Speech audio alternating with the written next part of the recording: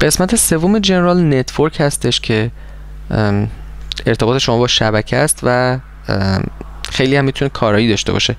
اولین عنوانش Enable 3G هست که اگر شما از اون دست انسانهای خوشحال و خوشبخت و خوششانس کره زمین هستین که دسترسی به اینترنت سرعت بالای 3G روی گوشیتون دارید با کمال قدرت و افتخار این رو on بکنید و سرعت لذت ببرید.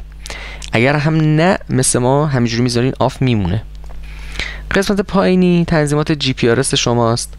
اگر GPRS ت دارید روی گوشیتون و می‌خواین ازش استفاده بکنید از اینجا می‌تونید on ش بکنید و تنظیماتش رو هم از طریق اینجا Cellular Data Network انجام بدین.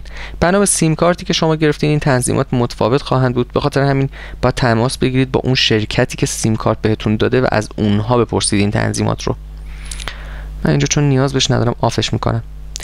VPN هم که خب VPN VPN خیلی جالبه تصوری که تو ایران هست اینه که VPN یعنی یه چیزی که جیزه و دست نباید بهش زد.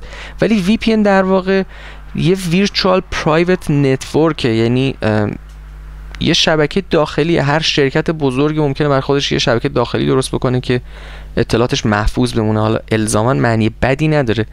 تنظیماتش هم از اینجا شما می‌تونید انجام بدین حالا هر تنظیمی که داره حالا بنا به اون چیزایی که توی شرکت خودتون تنظیم شده اینجا اینا رو بزنین و ازش استفاده بکنین. آخرین عنوانم که خب وای فای تکراریه چون قبلا توضیح داده شده دیگه اینجا ما توضیح اضافه در موردش نمیدیم.